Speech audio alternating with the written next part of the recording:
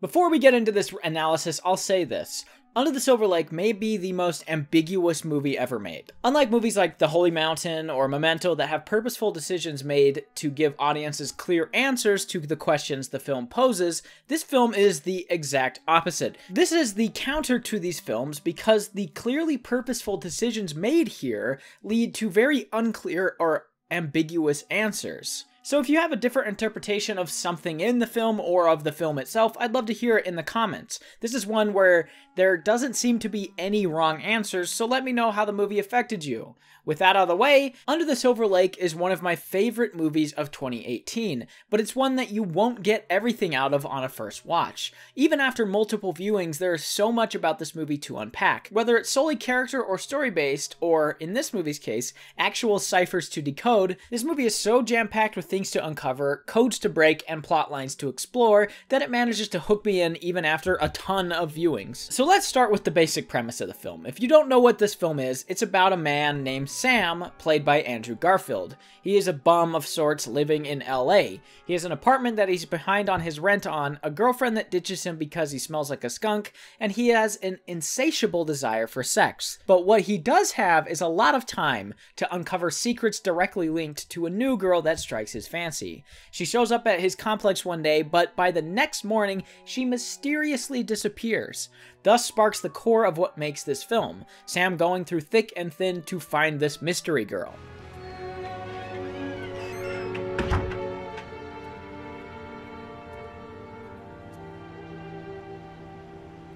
Hello. That's the basic rundown of Under the Silver Lake, a movie that on the surface sounds simple and fairly straightforward, but as you'll come to see, it's anything but. Before we dive into the feature film, let's start off this witch hunt of codes by perusing the film's poster, which, like the film itself, seems pretty straightforward. A girl's body is being dumped into a body of water with some palm trees at the bottom, hinting at the film setting. But as we take a closer look, things are not as they seem. As we zoom into the girl, you can see it's just some nondescript girl. It's the bubbles that are of interest. At the top of the poster, we can see a Jesus Saves cross, which is a reference to Jesus and the Brides of Dracula, which is a band in the film, and they are quite important to the overall story. Then we have a pair of binoculars, one of the hobo symbols, the balloon lady, and even the pirate guy, plus far more little objects and faces from the film hidden in there somewhere. But the little secrets don't stop here either. As you can see in the girl's hair, the word sex is spelled out, which is a major part of the film. Then further down in the palm trees is Andrew Garfield's face. And of course, the film title itself is referencing Silver Lake, LA, where the film is set in and around but the setting goes much deeper than just taking place in Hollywood. This movie is about movies, it's about Hollywood, the entertainment business, the 1%, the men in charge, women that are exploited, secret societies that run the world, etc. It's about everything. So setting the film in the heart of show business to critique show business is an incredibly smart move. I'm sure I'm missing some things on this poster and in the title and in the marketing, but I think you get the idea. Even though these little things don't have much sway in the film itself, it is quite neat to see a movie putting work into making the poster a perfect reflection of the film, which we can finally get into. But before we do, one last thing I want to say before we get into it is that there is a subreddit dedicated to decoding and fully understanding this film that I will be referencing as we go on from here. So I'll put a link to that in the description for you to go hit up. Okay, so straight off the bat, this film hits us with a simple code. It flashes a unicorn, a tiger, a snake, and a lion to the beat of one of the amazing tracks from Disasterpeace's wonderful score. So what does this mean? Well, this is a pretty simple solve, actually. If you take the first letter from each of the animals' names, you get UTSL, which is the acronym for the film itself, UTSL, or Under the Silver Lake. Anyway, the first thing that we see in the actual film is a big Beware the Dog Killer graffiti on this coffee shop. The dog killer is, of course, a subplot that develops a little bit further on, so we'll cover that when it comes up. Then the camera pans through this diner and we see yet another code on this man's t-shirt, which we can see many other people wearing at various times throughout the film. Using the same method we used at the start of the film, the shirt deciphers to B W A R D O G K I L R, or Beware the Dog Killer, another reference to this dog killer subplot. We then pan over to meet our main character, Sam, who is watching the lady scrub away at the dog killer graffiti. He turns, and then it seems like the sign is almost looming over him, which again becomes more relevant later on. Also, take note of Sam as he turns around. He sort of smirks at the dog killer sign, which is an interesting little touch to this character and to this plot line. But then he starts staring at these two girls behind the counter, which is our first indication of what type of character he is. Sam is a bit of a psychotic, sex-crazed, short-fuse kind of guy. He's not a typical hero. He's mean, he's creepy, and he's incredibly pervy, which does not make him empathetic. But that's the point which we can get into when that sort of comes up. Of course, anybody paying attention will have noticed the dots and dashes at the bottom of the coffee menu, which appears to be Morse code. When it translated, it comes out to be XJVO OJRY XER SW, which is obviously gibberish simply because the film hasn't provided us with the key to decode it yet. It does so later on, and this is a major component of what's called the Copiale cipher that we will unravel as it comes up. Now, this scene is chock full of codes and ciphers, but the majority of the movie doesn't have this many things to unravel or decode, so from here on out, I promise there isn't as much of this. But this does wrap up scene number one, and it wraps up with Sam grabbing an LA Weekly with Jesus and the Brides of Dracula on the cover. This is the band that is crucial to the film as a whole, who again come up a little bit more later. So he heads home where we can see that he is late on his rent, which is another indicator of how much of a loser he is. He can't pay his rent, but seemingly refuses to get a job, despite telling anyone that asks that he does have one. Are you at work? Uh, yeah, it's, uh, kind of a busy day. He's clearly mentally unstable, but puts on a front that makes him seem sort of normal. He actually reminds me a lot of Travis Bickle from Taxi Driver in this way. He operates as a very normal, casual human being, but as you get to know him more intimately, he is kind of psychotic. And this is no more apparent in the first scene where we meet him at a very average coffee shop with normal clothes and a casual demeanor. Yet as we learn more about him, it's clear he's a bit of a psycho. He beats up kids, lies to just about everyone he knows, can't pay rent or his car payment, and is relatively disinterested in real issues that he should be interested in. Oh, I wanted to tell you, Seventh Heaven is playing on TCM tonight.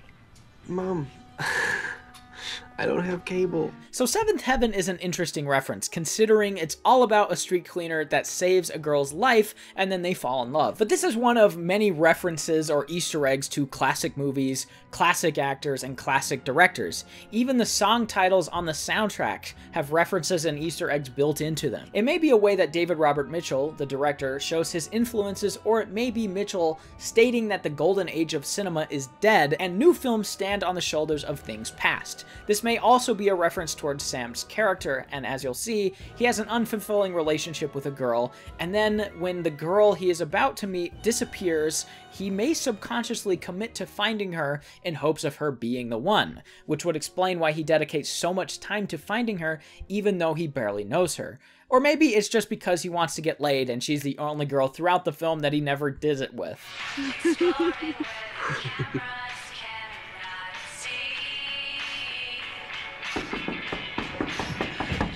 So Sarah, played by Riley Coog, Korg, Coog, shows up blasting Turning Teeth, which is a song by Jesus and the Brides of Dracula, which is a song that lays out what Sam is about to discover.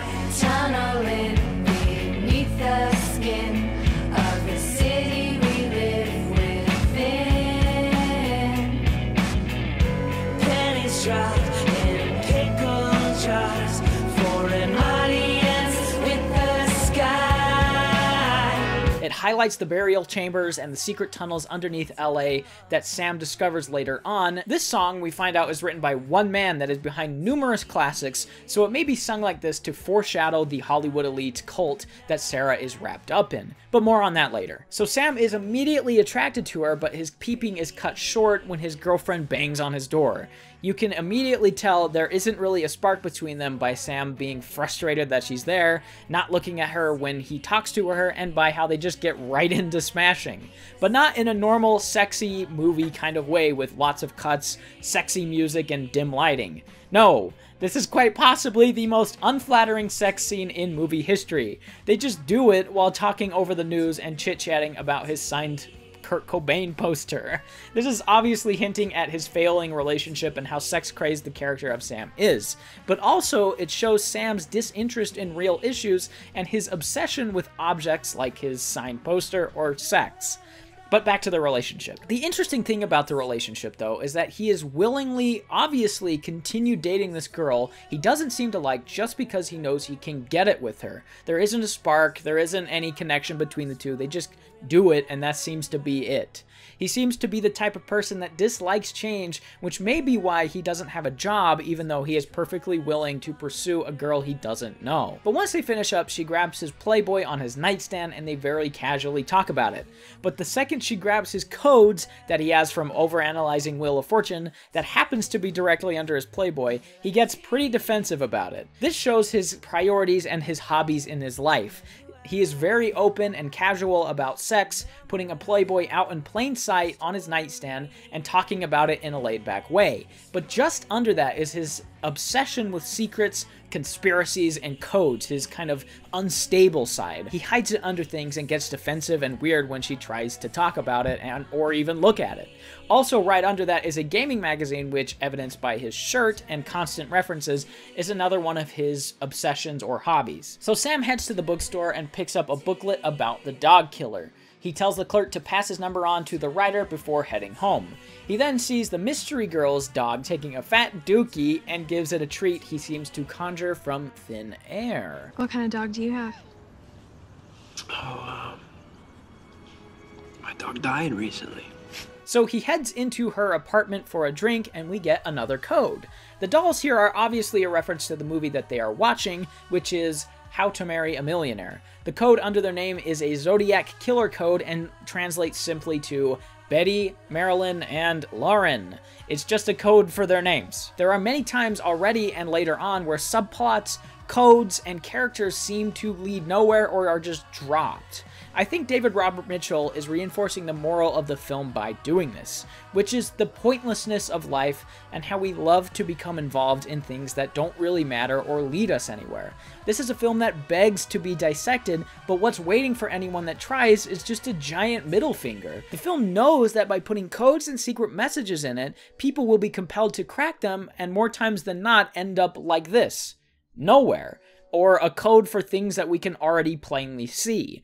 This film can't wait to tell you that nothing matters, and as the film goes on, this nihilism becomes more and more obvious. And as Topher Grace says in the movie, Where's the mystery that makes everything worthwhile? Uh, we crave mystery because there's none left. so he looks at her bracelet, she quickly changes the subject, and then he calls it a night. Oh. That's weird. Little late in the summer for fireworks, isn't it? As you can probably tell, the fireworks are obviously distressing her, and as we'll come to find out, they were more than likely a sign for her and her friends to hightail it wherever they were ending up going. Then Sam assaults a couple of kids like a maniac, showing his short temper, and then we see the Copiale cipher referenced on this TV, pointing us to look for graffiti in downtown LA, a spot that we'll see very, very soon. I don't want to pass up this Easter egg lightly though, I absolutely love it. Hiding it at the bottom of news footage that pertains to the actual story is a stroke of genius. It hides the cipher in plain sight, but doesn't draw attention to itself, since the film is still presenting at least a part of its story with this billionaire gone missing. In 1978, a Silver Lake resident discovered a can of film in his basement. In the movie, a young man holds a note in front of the camera. It reads, No one will ever be happy here until all the dogs are dead. After reading about the dog killer's possible origins, we see him go out for a little late night walk.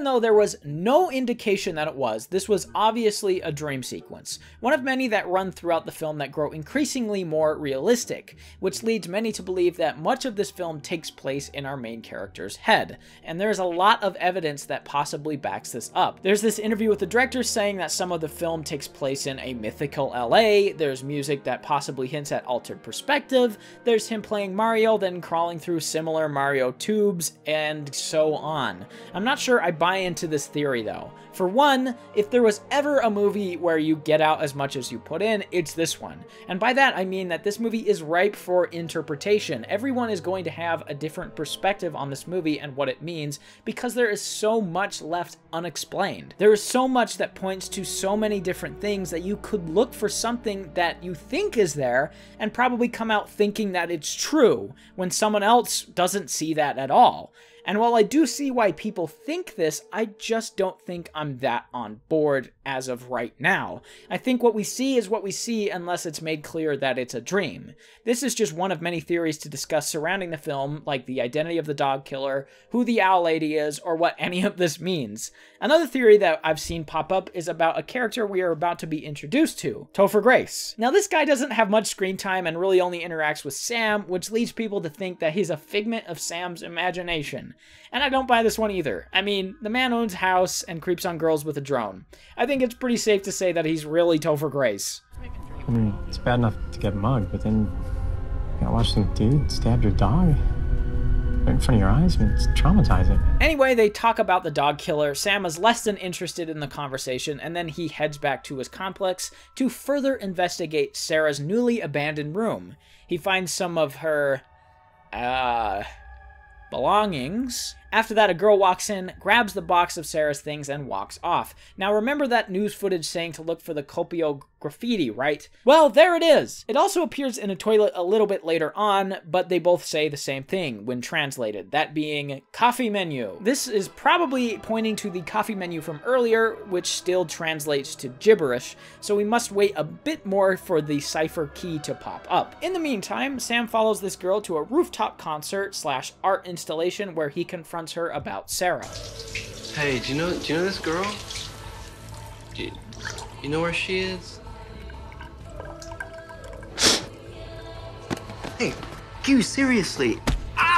This is a good time to bring up one of the more prevailing theories around this film that Sam is the dog killer. There is a fair amount of evidence to support this too, like him conveniently having a dog treat here and here, or his general lack of interest in it despite the constant flyers, graffiti, panic around it, and conversations surrounding it. Then there's this scene and his other dreamlike sequences where dogs or dog sounds seem to be haunting him. Whether or not he is the dog killer is open to interpretation, of course, but if you think about him being the dog killer while watching this, it does make things a little bit more interesting.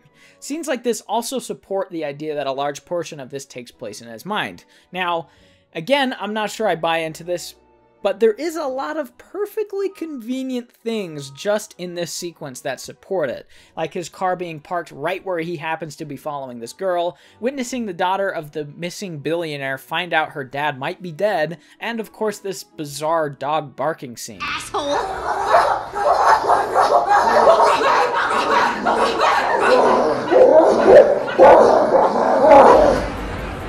Another thing to bring up about the scene is that there's this girl here talking about vampires, which is something that comes up quite often in this movie. Vampires or Dracula is brought up around or by women a lot to probably hint at the idea of Hollywood sucking souls of up and coming women, who seemingly are always chewed up and spit out by the system. The Harvey Weinsteins of the world love to suck up as many beautiful women as possible and then ditch them when their value or looks are spent. This idea of the Hollywood elites standing on the bodies of past icons and women in general solidifies near the end when you find out about the cult that buries themselves underneath the Hollywood hills. Only the richest of men can afford this ceremony. So we hard cut to Sam walking home where he gets a phone call from the writer of the Dog Killer book. But his peaceful walk is cut short by someone following him. Now you may be wondering, who is it? And the answer is, I don't know. This is like so many other subplots and creepy things that lead nowhere, but as I've said, that's sort of the point. I've already laid out some characters, codes, and plots that have no conclusion and ultimately seem dropped, yet that's the whole purpose of the film. Whether it's to point out the clear issues Sam is blatantly ignoring to pursue a girl he barely knows, or it's simply trying to illustrate that Sam is haunted by things, that's, again, up to you.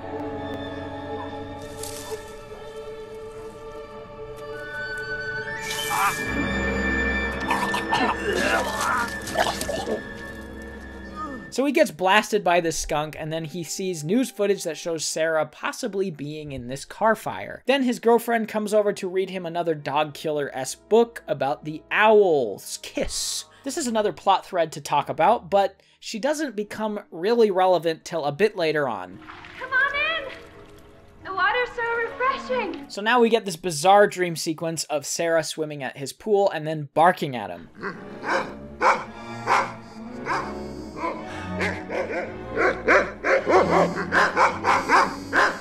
This scene is doing two things at once. Obviously, it's a dream in the context of the film, but this is actually a recreation of Marilyn Monroe footage from Something's Gotta Give. It's a reference, of course, but it's also a look into Sam's head. He's dreaming of this beautiful girl he wants, and since he's a fan of classic cinema based on the posters in his room, the two meld together to create something new. And just like the other pool scene with the girls barking, dog barking begins to infect his dream once again, haunting him more and more. This seems to be lightly commenting on Sam being the dog killer and reestablishing that this film is a homage and a reinterpretation of a lot of classics, melding a bunch of different things into one thing to create something new. Now we cut to Sam wandering around his neighborhood. There's this girl's butt he's staring at and a homeless guy sitting under this tree with missing dog flyers. This is not the first or last time the homeless are mentioned or seen, so keep that in mind going forward. But Sam follows this girl up the street where there are a bunch of other girls dressed exactly the same, auditioning for a movie. We see dog killer graffiti on the street, but the shot is interesting because it stages it in such a way where Sam's shadow is the only one going across the graffiti and no one else's. Again, implying he's the dog killer. There's four people around it, but only one person's shadow is looming over this dog killer graffiti, and it's Sam's. Now his car gets towed because he can't make the payments, and then we see this billboard, which is interesting not just because he happens to know this girl, but because of what's at the bottom left. It says E equals EE, which we will use later, even though it's a pretty straightforward key for what it's used for.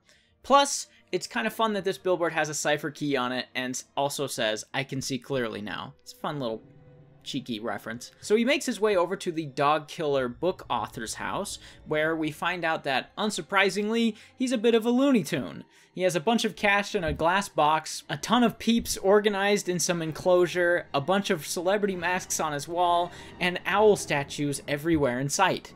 I really need to get a family. So I have somebody to leave these to, right? This is a funny line because he happens to get killed not long after this, so who knows if these life masks get left to anybody. Again, the movie seems to be commenting on people not being interested in things of the past, but more focused on things of the present. Then he asks Sam for a dollar bill, and he circles a bird near the top right corner. He says that it's the sign of the owl's kiss, and it's on every dollar bill in this country, and that we live under her law. We see a bit later that she ends up killing this guy and even comes for Sam, but he gets away from her and she is never seen again.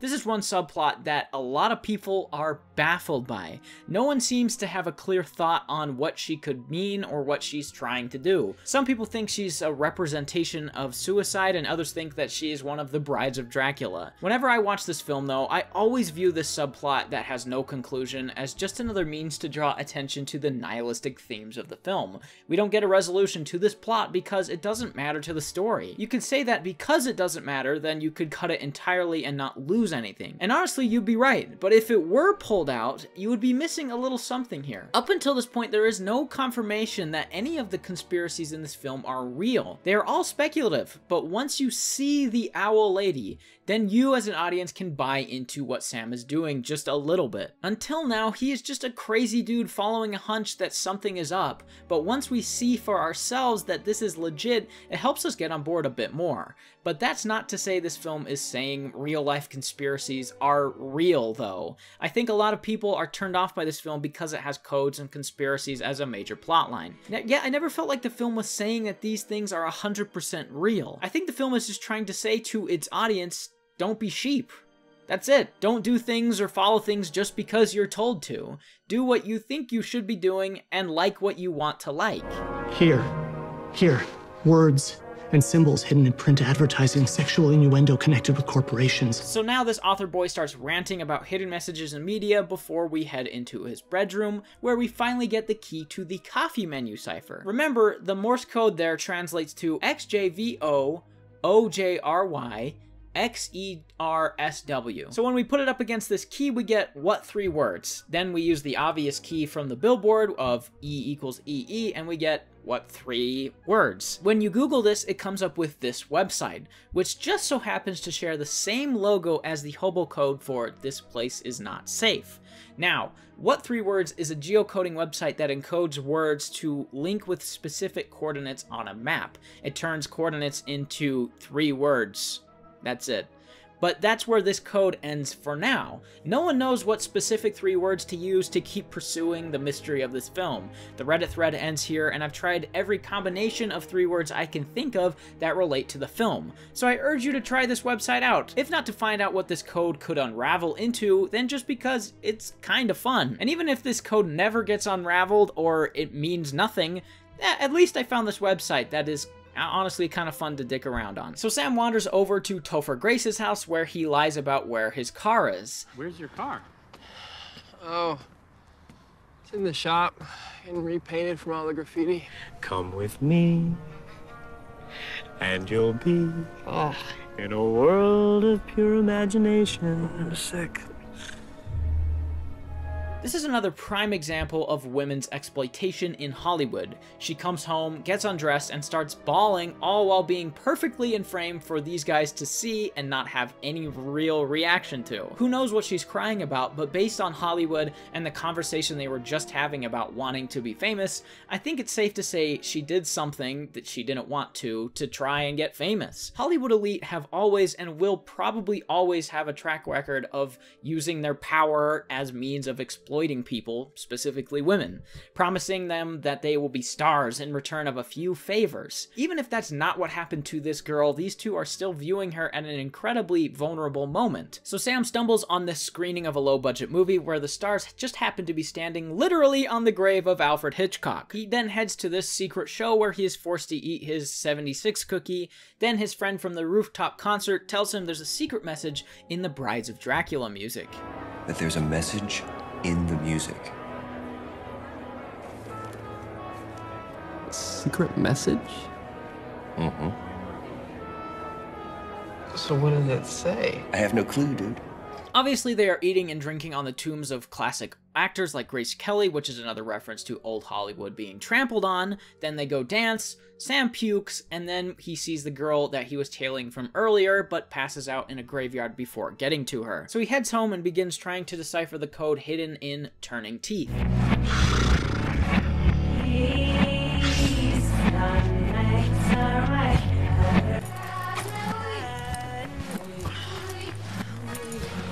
He gets nowhere fast and decides to do what any man that is having brain fog does choke the chicken.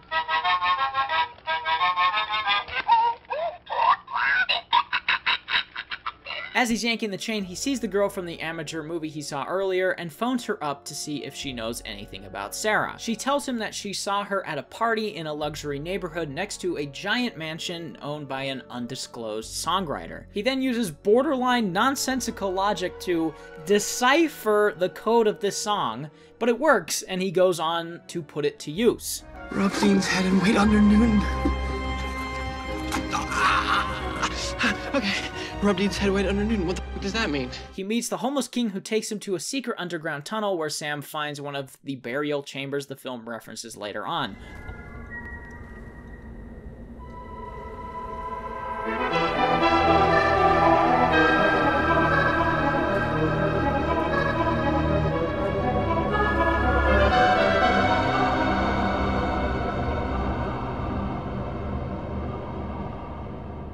After he sees the sights, he heads over to the author's house where he finds out he killed himself.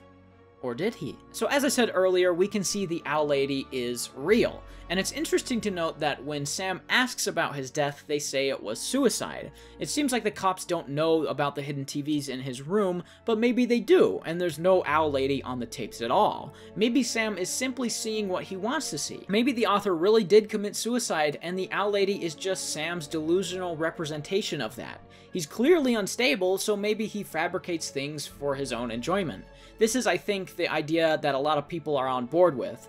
If what is happening is all in Sam's head, it would explain why he's right about so many things despite how far-fetched they seem. Again, not sure how much I buy into it, but it remains an interesting idea to stew on. Anyway, he heads over to a Jesus and the Bride's chess party and confronts Jesus about the secret messages in his song. Um, I was wondering if you might know how I can get in touch with Jesus. I am the wrong guy to ask. Oh, um, I mean the lead singer in the band. Side note here. I think it's very fitting that this main singer's name is Jesus and probably very intentional. There's numerous little messages about religion here and there, but this scene is just the icing on the obvious cake. People always say that God works in mysterious ways, and here when Sam is asking Jesus about his secret message in his song, he doesn't have an answer for him. He says that someone else wrote the song for him. The label gave me a few songs to record. And the rest are all mine. So which songs did they give you? Mm, Turning Teeth, Wire Mountain, and Waltz of the Christian Chip Farmers. That's all the hits? Stories to belittle me, man. And it's interesting because a lot of people have struggled with God and what everything means and what he means even, which again is the point of the film. The film wants to point out the pointlessness of life, and having a scene where our main character confronts Jesus, and Jesus is just as lost and hopeless and helpless as him, is quite the compelling little sequence. We don't have the answers to every question in life, and if we try to figure them all out, we may quickly find that the answers are just as worthless as the questions. I, got a call from someone at the label. They said not to ask any questions, but if I didn't record the songs, I'd lose my contract. You're telling me you don't know who wrote your own hit song? He didn't give a name, no. He just said it was an important piece of music by the songwriter. Sam then breaks and enters into the songwriter's house where we get one of the best scenes in movie history. So I'll just let it play out and cut in every once in a while to explain what's happening in case you don't get it. I want it that way. Tell me why. You're telling me there's hidden messages in old pop songs? Movies, television shows, everything you know. Why? That's pop culture, isn't it? Floats away like tissue paper. Yeah, I blow my nose. I find a used Kleenex, I recycle it, and there is your wedding song. Here it comes. I want to know what love is.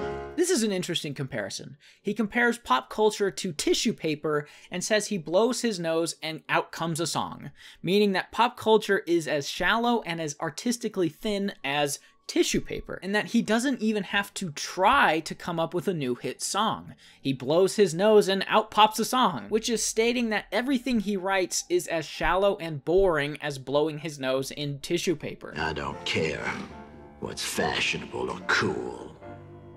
It's all silly and it's all meaningless.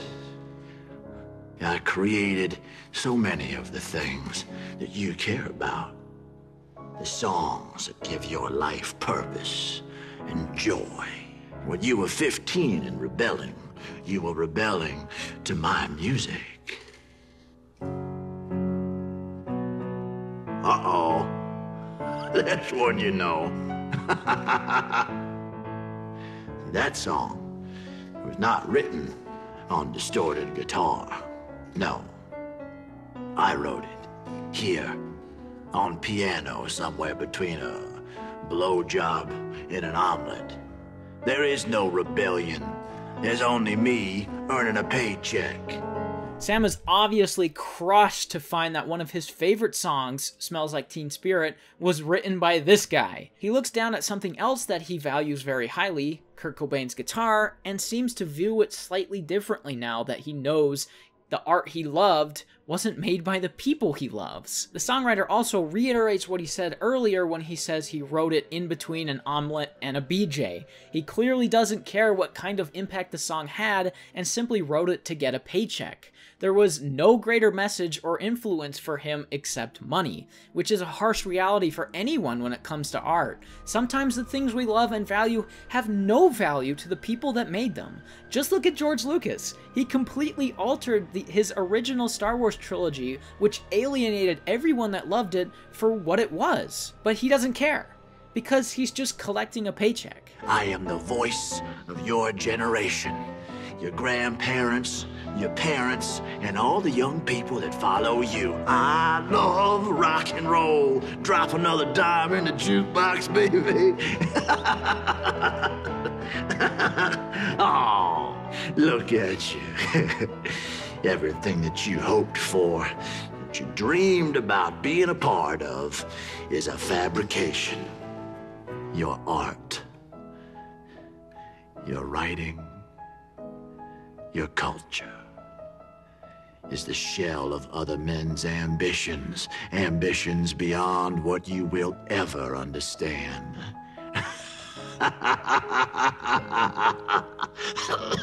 That's funny to you. Well, it's a little bit funny, don't you think? This is the most important and crushing part of the sequence.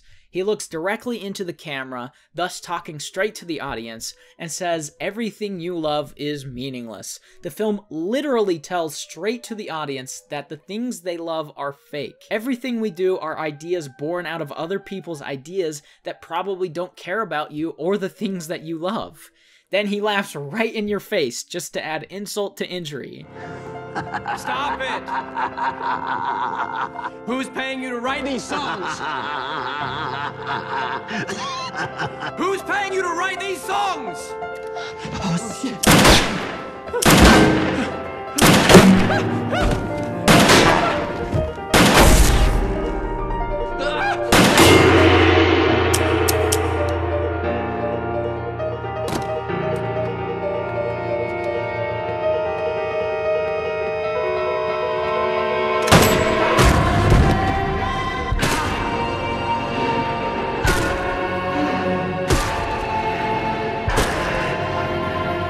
piece of pop culture to kill one of the heads of pop culture. Just, just brilliant. So, Sam, now in a dark place, comes face to face with the Owl Lady. He spooks her with his new gun that he grabbed from the songwriter, and she vanishes not to be seen again. This plot, like the bird who is saying something and no one knows what it is, are one and the same to me. They both represent the idea of closure or the lack thereof.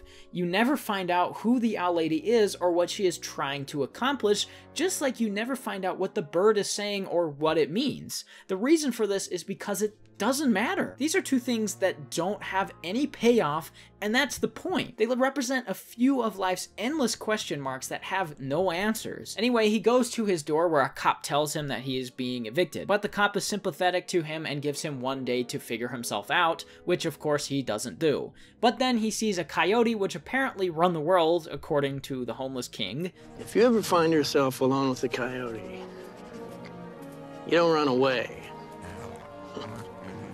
You follow it. So he follows it to a house party where he meets the daughter of the now dead billionaire. He heads out on the town with her where they see a memorial to a dog. I think we're safe. We, we don't have a dog with us. Yeah, but anybody who could kill a dog wouldn't think twice about killing a person. Not sure that's true. If Sam really is the dog killer, as so many think he is, then this line is one of many where he completely contradicts himself. He says that the dog killer probably wouldn't kill a human, but he just did.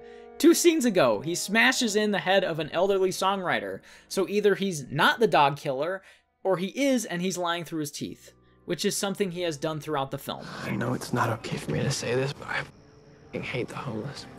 Everybody says we need to take care of them, but I think they're bullies. Poltergeists. You mean ghosts? Yeah, yeah. All they do is just float around on the edges, on the peripheries, and watch people eating delicious food, drinking beer, and falling in love. They can't participate, so they get jealous and then they harass us. Obviously, this isn't the first encounter with the homeless, but it is the first time he has expressed his feelings about them. He says he hates the homeless and calls them bullies, but he is basically homeless. If the cop didn't give him one more day to pay his rent, then he would literally be homeless right now. He says they are bullies, but that's also what he's been doing this whole film. He bullied these kids, he bullied Jesus, and he bullied the songwriter so hard that he killed him. So he is essentially what he hates. This shows a complete lack of self awareness and something I think everyone should have more of. Much of what we hate just so happens to be the things that we are, or at least partially are. But we are so up our own keisters that we don't even realize it. They then hop the fence and go skinny dipping, where she shows him a bracelet she found in her dad's office, which happens to be the same one that Sarah had earlier. Someone starts shooting at them, whom we never see, and this girl gets shot. Another indicator that Sam is possibly imagining this, or at least the film is saying that art imitates life and life imitates art. This idea of art imitating life is something that the songwriter alluded to as well. So Sam heads home and while kids are playing and having a good time, he is trying to desperately solve this puzzle of what the bracelet means. He figures out that there is something on Mount Hollywood and races up there to find a shack where the girls he was tailing earlier are inside. Found a shelter down there. Some some kind of bunker. In case of a nuclear war. It's not a shelter. So what is it? A tomb. Was it ours? They're tombs for kings, like me. And Jefferson Sevence. So this man explains that he is a king and he is taking his possessions down into the burial chamber Sam found earlier to ascend to rich boy heaven. Also interesting to note that he says they'll be ascending but calls the idea of heaven fake. Are you talking about heaven?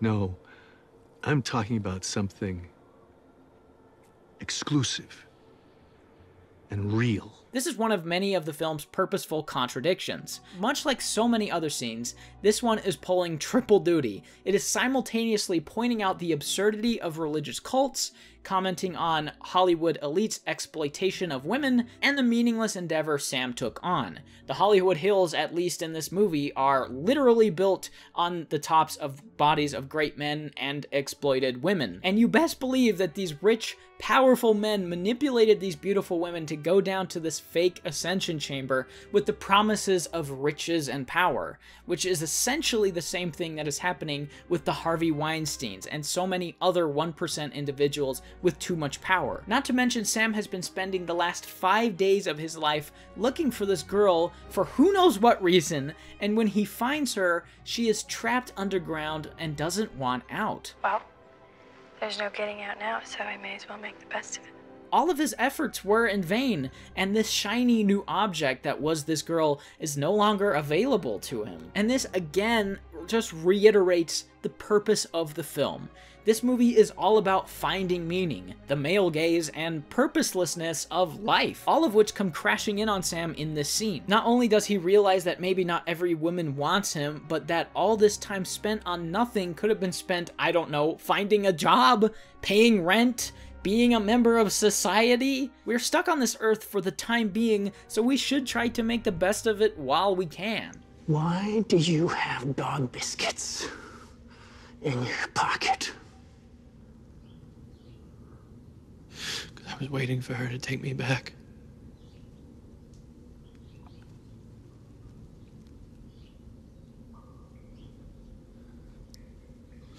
I wanted to give the dog a treat and rub its ears. Just the way I used to, and then everything would be good again. I don't know about you, but this seems like the most genuine thing that he has said the whole movie. Whether or not he is in fact the dog killer, this feels like he is finally coming clean with himself. He has been holding out for someone from his past that he hopes can make him whole again. The whole movie, he is just a lost soul wandering from place to place looking for meaning because he has none. He fell into the trap that so many of us do. We hope and pray that something big will come our way and that we'll get our comeuppance in life. We may even move to Hollywood in the hopes that we can find ourselves or at least make a paycheck.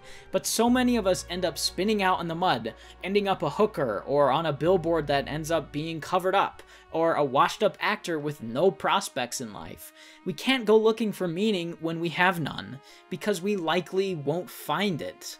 We all have to make an effort to be true to ourselves in this phony, glamorous world. And if that means hooking up with the strange bird lady from next door, then so be it.